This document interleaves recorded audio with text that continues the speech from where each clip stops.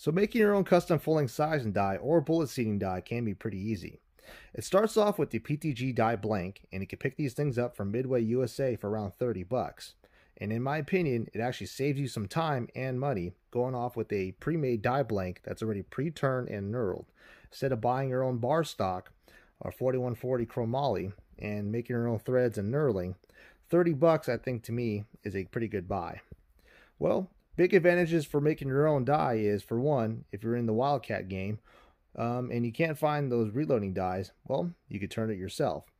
Another big advantage is the fact that you can actually make a better product than what you could buy on the market. So some might question why on earth would you make your own custom full-length and die when you could buy one from a reputable manufacturer such as Redding. Well, Redding does make some awesome products, I give it that, and no offense to them, uh, but that full-length sizing die may not be as concentric as you think. Now, this is a Redding 6.5 Creedmoor body die. Now, measuring on the inside diameter, I have this thing running as true as I possibly can. And you can see it's roughly, let's say, two ten thousandths of run out. Now, if I was to put the indicator on the outside of the die, where it will actually screw into the press, you'll see that you actually have more run out than you think this thing set up. Total run out on the outside of the die. You can see there. I'm looking at roughly three thousandths of run out. So with this three thousandths difference, I was getting at minimum three thousandths of run out when seating the bullet. I couldn't figure out why until now.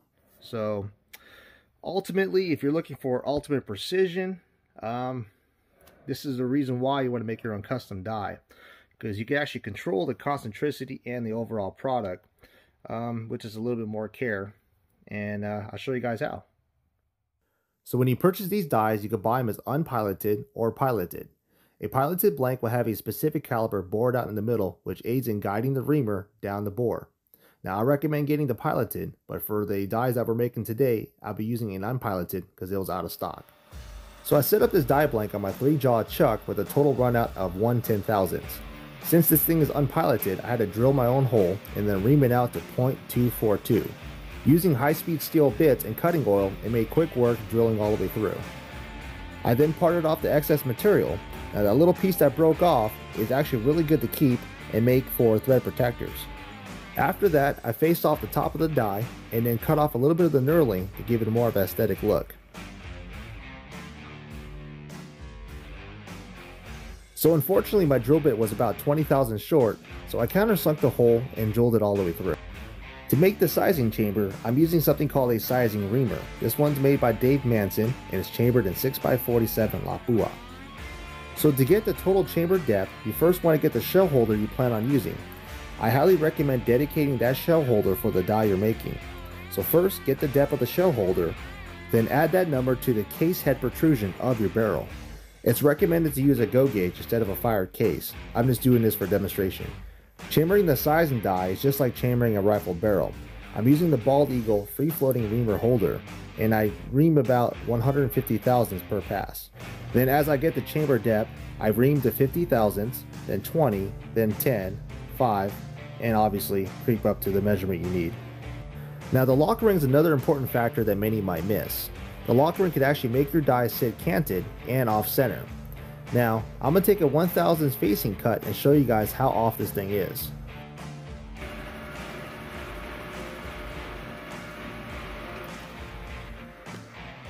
And as you can see here, I'm only getting 50% contact.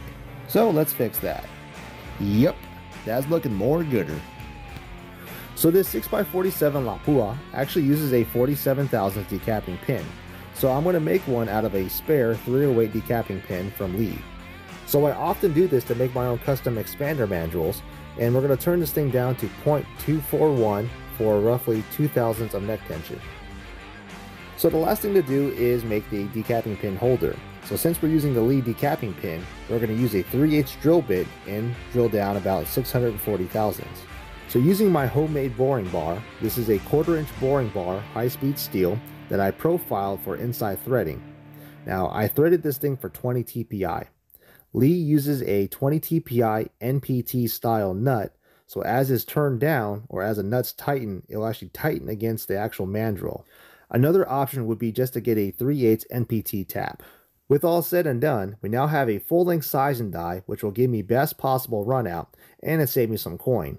I wasn't able to find this caliber without spending quite a bit of coin. As for the reamer, I picked it up on eBay for around 35 bucks, brand new. However, you could actually rent the reamer at places like 4drentals.com or other places or people in the forums. Well, folks, thanks for watching. I hope you guys found this informational and helps you guys out. As always, you stay safe out there. I'll catch y'all on the next video. Thanks for watching.